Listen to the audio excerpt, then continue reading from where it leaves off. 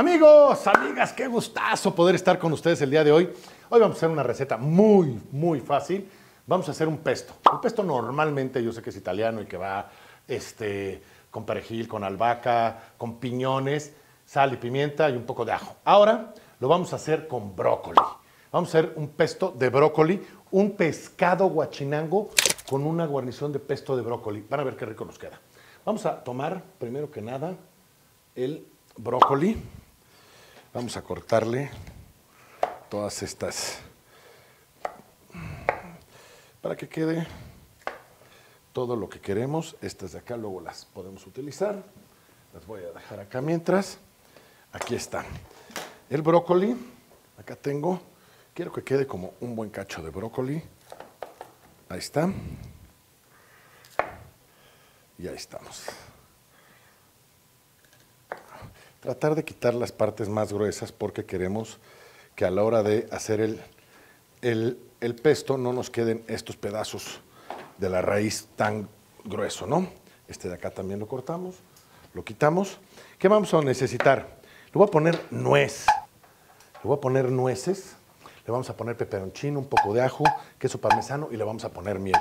Primero que nada vamos a blanquear nuestros brócolis, los vamos a poner aquí a blanquearse alrededor de unos tres minutos. Luego los vamos a pasar al agua fría. Mira, lo que quepa aquí, ahí lo tenemos. Vamos a apachurrarlo y limpiar esto de acá. Esto de aquí lo paso para acá.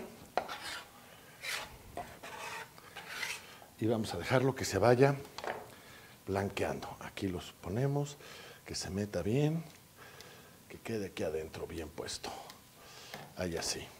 Luego en un sartén, aparte, acá, voy a poner aceite muy bajito, no, no lo quiero porque quiero que el pescado se vaya haciendo suavecito. Tenemos acá dos pedacitos de guachinango. Este es nuestro guachinango, vean, aquí está. Lo único que voy a hacer es ponerle un poquito de pimienta y le vamos a poner sal. Y los vamos a poner en aceite a que se vayan haciendo no quiero que se hagan muy fuerte. Aquí los tengo. Ahorita los vamos a sacar. Vamos a bajarle tantito. Lo mínimo que se pueda. Le puse dos terceras partes de aceite de olivo y una tercera parte de aceite vegetal. ¿Para qué? Para que el aceite de olivo aguante mucho, mucho más calor. Ok, entonces acá lo, lo que voy a hacer Vamos a dejarlo que se vaya haciendo y ahorita lo vamos a pasar para acá. Vamos a poner aquí nueces. Le vamos a poner el, este, el, ¿cómo se llama? El ajo. Ahí lo ponemos. El ajo, las nueces. Vamos a ponerle un poquito de peperoncino. Y vamos a dejar que estos ya casi estén. Ya estoy con el pescado, hay que cuidarlo, que no se nos pase. Aquí tenemos nuestro brócoli. De verdad es una receta muy rápida, muy fácil. este brócoli lo vamos a dejar simplemente alrededor de tres minutos y lo vamos a pasar al agua fría. ¿Por qué? Porque con eso es lo que vamos a utilizar para que nos quede, pues, de, eh, eh, que se pueda licuar y que se pueda procesar bien. Aquí es una tipo procesadora, licuadora procesadora. Y ahora sí, lo que voy a hacer es darle la vuelta a mi pescado, que no se me pase. Ahí lo tengo, súper suavecito se está haciendo. Aquí lo tengo, lo podemos ver con esta cámara. Apenas se está cocinando, ahorita le damos la vuelta. Y ahora sí, todo este que ya está aquí, lo tenemos, ya está cambiando hasta el color. Va a ver, van a ver cómo va quedando. Este va a quedar súper, súper rico. Entonces, lo que queremos es que agarre un color sabroso, que agarre un color verde, verde, verde, verde, verde. En Italia lo hacen con otro tipo de brócoli, un brócoli que hay en el norte de Italia. No me acuerdo ahorita bien el nombre, cómo se llama, pero este es muy rico.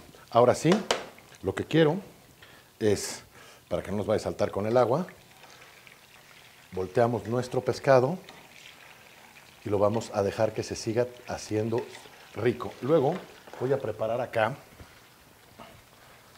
un par de servilletas para que, para que el pescado no se nos pase. Ya lo tenemos ahí, ya está listo ese. Este lo apagamos. Este de acá lo apagamos. Y ahora lo voy a pasar a lo mismo, pero con agua fría. Aquí lo paso con agua fría para que se corte la cocción y no se me siga cocinando. Vamos a pasar una buena cantidad. Todo lo que me sobre, no se preocupen, que sé yo, al ratito me lo como sin problema alguno. Ahí estamos, que quede en agua completamente fría con hielo para que se corte de volada la cocción y ahí estamos. Vamos a hacer esto aquí así, que dejamos que se corte esto y vamos a poner los últimos pedacitos, los chiquitos estos que son muy ricos y estos son los que más rápido se van a procesar. Estos de aquí así, entonces sí quiero que estén así, aquí así, y el pescado nos queda poquitito ya para que esté completo. Ahí estamos. Ya le dimos la vuelta. Esto ya está. Y vamos a mover. Vamos a ir haciendo espacio para que vayan ustedes viendo todo. Este lo paso para acá. Este brócoli me lo llevo para acá. Aquí así. Y lo que voy a hacer es, aquí lo voy a empezar a meter en esta parte. El pescado lo voy a sacar de una vez porque está empezando a a cocinar y yo quiero que me quede exacto, no quiero que se me pase. Por dentro todavía le falta un poquito. Vamos a dejarlo porque es un pescado grueso. Vamos a dejarlo que se vaya haciendo. Vamos a ir poniendo brócoli sin tanto eh, ahí está lo que quepa aquí en nuestra procesadora pedacitos chiquitos este está muy grande, este que está muy grande lo pasamos, le vamos a poner por unos más chiquitos para que licúen más rápido. Aquí así, ahí está. Usted váyalo escogiendo, ahí lo tenemos, listo. Ahora sí, le pongo este aquí así. Y ahora sí le vamos a poner un poco de miel. La miel.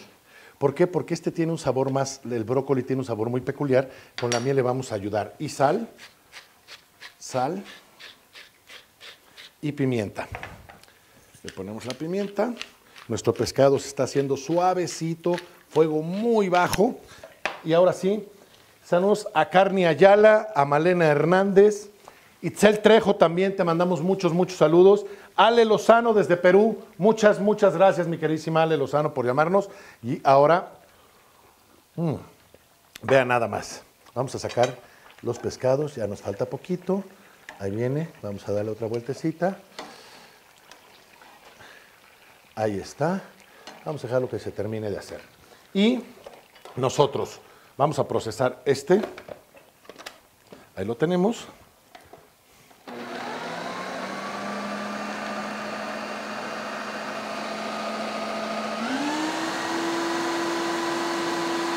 Todos esos sabores, cómo van a ir agarrando. Súper, súper, súper rico. Ahí está quedando nuestra pasta y nuestro elemento que nos hace falta para conjuntarlo todo, el aceite de olivo.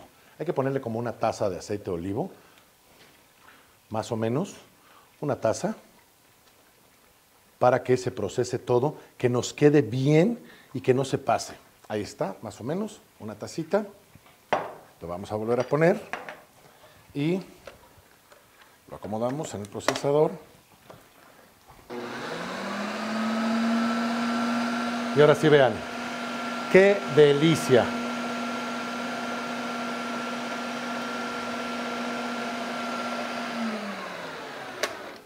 Ya que quedó este así, lo vamos a quitar. Esto, sacamos este de aquí. Apago el sartén y ponemos nuestro pesto. ¿Dónde está la cuchara esta? Vamos a ir sacando el pesto. Aquí. Aquí. Voy a poner un poco del pesto. Ahí lo tengo. Y vamos a ponerle el queso.